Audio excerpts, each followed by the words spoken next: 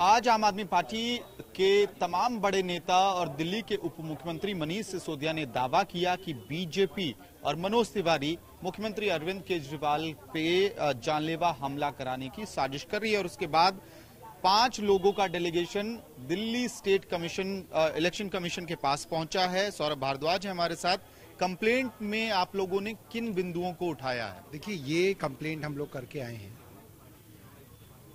ये पहले कई बार हुआ कि चुनाव प्रचार के दौरान अरविंद केजरीवाल जी के ऊपर जानलेवा हमला हुआ और भारतीय जनता पार्टी ने इसकी खूब खुशियाँ मनाई।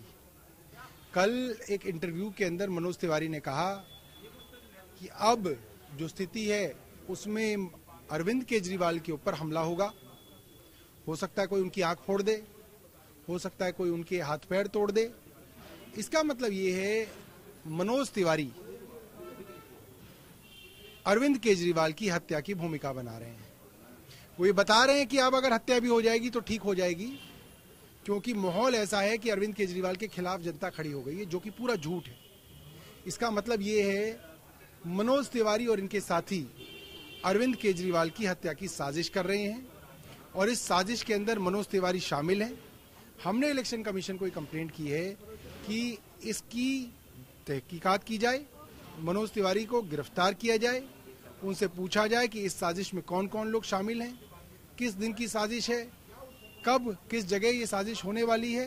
ताकि अरविंद केजरीवाल जी की सुरक्षा को ध्यान में रखते हुए उसके लिए कदम उठाए जा सके। लेकिन उनकी तरफ़ से अपने बचाव में ये बयान आया है मनोज तिवारी कह रहे हैं कि हमने तो शुभचिंतक के तौर पे कहा है क्योंकि स्थिति इतनी खराब है ग्राउंड पे इस वक्त। मनोज तिवारी कब से अरविंद केजरीवाल के शुभचिंतक हो गए? बीजेपी के 11 कैंडिडेट जिनको टिकट नहीं मिला, वो इंडिपेंडेंट चुनाव लड़ रहे हैं। उनको इन्होंने प्रेस कॉन्फ्रेंस करके अपनी पार्टी से निकाला। इन्होंने अपनी पार्टी के किसी नेता के लिए तो नहीं कहा कि 11 लोग इंडिपेंडेंट चुनाव लड़ रहे हैं, उनके किसी नेता के लिए हत्या की बात हो रही हो? उनके किसी नेता के ऊपर हमले की बात हो रही हो? इतनी चिंता उन्हें भारतीय जनता पार्टी के किसी नेता की नहीं है। उन्हें अरविंद केजरीवाल की चिंता है। सीधी सीधी बात है, उन्होंने इशारा किया है कि अरविंद केजरीवाल की हत्या की जाए उनके ऊपर हमला किया जाए और जो भी होगमल्ला होगा, उसको हम टिकटों के ऊपर डाल देंगे, उसकी भूमिका बनाई गई है। सीधी सीधी साजिश के अंदर मनोज तिवारी शामिल है। मनोज तिवारी जी को गिरफ़्तार करके इन्वेस्टिगेट करना चाहिए। एक एक और आरोप आज लग रहा है, बीजेपी की तरफ़ से विजिलेंस रिपोर्ट का हवाला देके कि दिल्ली में क्लासरूम्स को बनाने में घोटाला हुआ।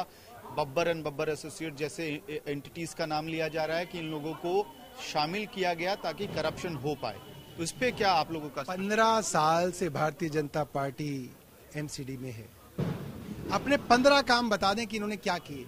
नहीं बता सकते। पाँच बता दें। एक बता दें। अरे आप एमसीडी का चुनाव लड़ने आए हो, अपनी रिपोर्ट कार्ड तो दो जनता के सामने कि आपने काम क्या किया। झूठे झूठे बातें, झूठी झूठी रिपोर्टें रोज लेके आ जाते हो जनता बहुत परेशान है। इनका जो प्रोपगेंडा है नेगेटिव वो बिल्कुल जनता के बीच में नहीं चल रहा है। जनता इनसे और ज़्यादा चिढ़ गई है कि आपने क्या काम किया, ये तो बता नहीं रहे। क्या करोगे, ये नहीं बता रहे।